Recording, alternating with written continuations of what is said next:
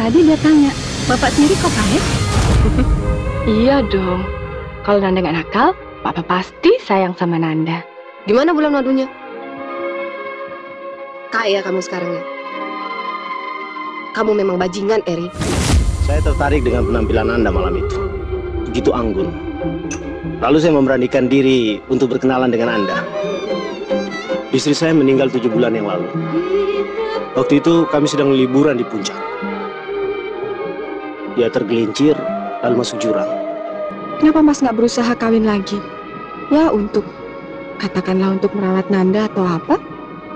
Sekarang ini susah cari istri yang cocok. Sejak ibu muncul di rumah ini, saya merasa seperti ibu Ayu hidup kembali. Saya yakin ibu Ayu belum mati.